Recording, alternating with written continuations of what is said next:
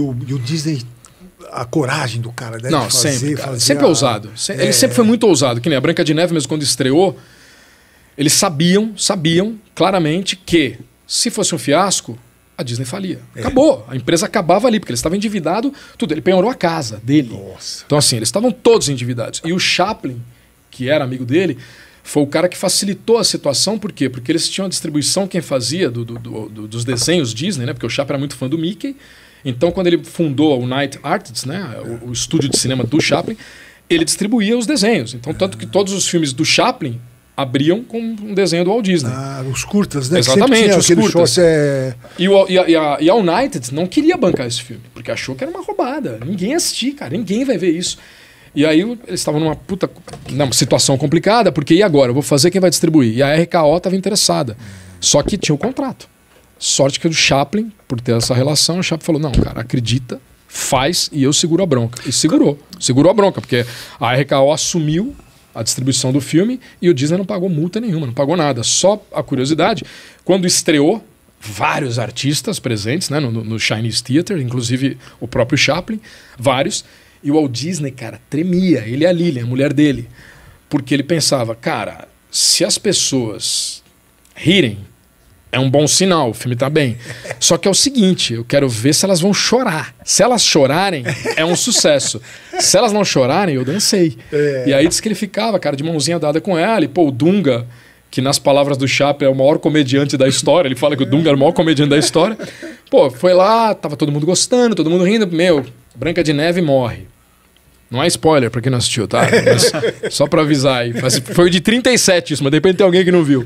Branca de Neve morre. Pô, começa a choradeira. Cara, diz que o Walt Disney, bicho. A Lili olhou pra ele e falou assim: Você venceu.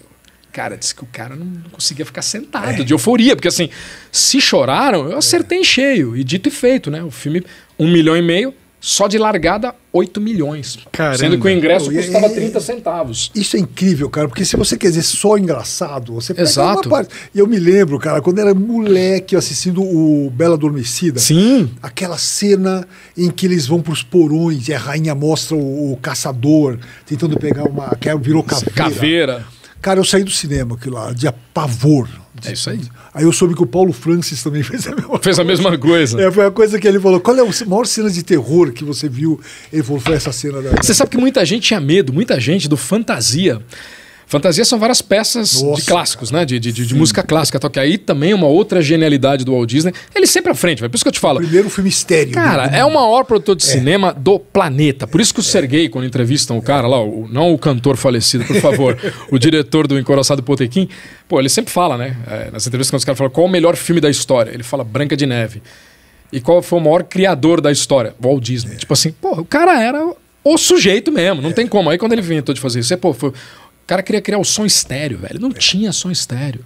Então você imagina, ele teve que criar os. Quando eu falo que o Walt Disney criou, entendo que o Walt Disney está à frente do projeto, mas é óbvio que há engenheiros, há um monte de gente. Mas o Porque às vezes pode pensar, o conceito é o dele. conceito é Então assim, dele, pô, é. eu quero fazer, eu quero levar a música clássica para o cinema. Porque uma coisa também muito importante que o Walt Disney sempre fez, sempre, em toda a sua trajetória.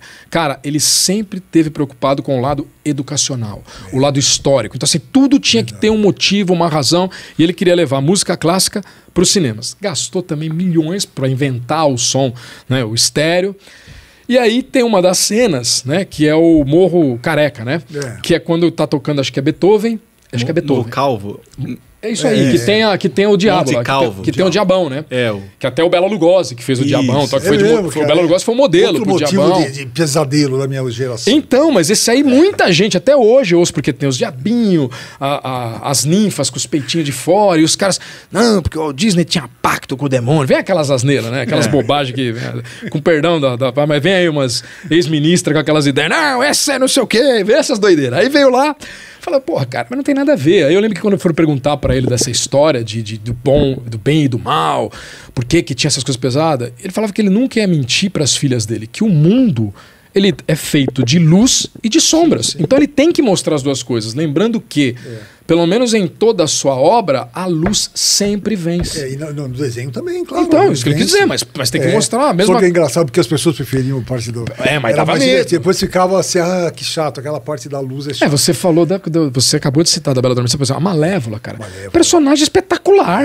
Espetacular. A hora que ela se transforma num dragão ali, você fala, Nossa, cara, é impressionante. é muito surreal aquilo, entendeu? E Então, o assim, estilo, o estilo mo- moderno, anos 50, acho, não sei. É, Nossa, porque aquele, é, foi demais. esse aí- essa época aí, por exemplo, foi quando eles começaram a transformar o estilo Disney, porque o estilo Disney sempre foi arredondado, né? É, e aí Os desenhos muito arredondados. realista, Aí né, não, cara? porque eles se basearam nos tapetes persas, Ah. entendeu? Porra, cara, os caras tiveram que buscar, evidentemente, influências em outras artes para também começar a se, a a se manter no mercado, né? Porque também não dá para fazer sempre o mesmo estilo. Era outra coisa que o Walt Disney não gostava, né? Ele era sempre um inovador. Ele sempre ia atrás de coisas novas, tanto que você nunca viu uma continuação. O Walt Disney nunca fez, ele era contra continuações. Ele fazia um negócio, não tem essa de Branca de Neve 2, não existe isso. É verdade. Não tem Pequena Sereia live action, não existe, cara. O desenho tá aqui. Essa é, É- a é obra. isso, Pega é esse elenco aí que é legal, a menina, todo mundo. Vamos fazer um outro filme. Bota É. uns caras bons aí pra criar. Não é essa coisa de hoje que vamos fazer 18 versões. Enquanto é pra nós sugar e ganhar um dinheirinho, tá bom, vamos sugando. Não, não. Ele era casca grossa. assim. Acabou uma coisa, tchau. E é legal você assistir esses desenhos hoje com essas remasterizações. Putz, parece, que, parece que foi feito fantástico, ontem. fantástico. É impressionante, cara. Tanto que o catálogo Disney, hoje, na, Disney Plus, né, que eles têm, É. cara, o que segura o canal, sejamos honestos, é exatamente os clássicos antigos, porque os, de novo eles não têm quase nada, tanto que eles tiveram um prejuízo imenso agora, 4 bi de nego saindo, porque É. as pessoas não querem mais, tal, perderam lá o, o, o campeonato de cricket, né, da, da, da- da Índia, eles acabaram perdendo também, e era tipo nosso campeonato de futebol, É. então assim, isso também pesou, mas é por isso, porque a galera assiste tudo que tem lá antigo, É. e já não tem mais sentido ficar. O cara fala assim, eu já vi o que tinha que ver, agora eu vou sair, entendeu? Eu Vou para outro. É isso. Não, então, assim, realmente você vai ver, você fala, meu, ah, vou ver um desenho antigo. Meu, parece que renasceu. é sensacional. impressionante. cara. É, não, né? é.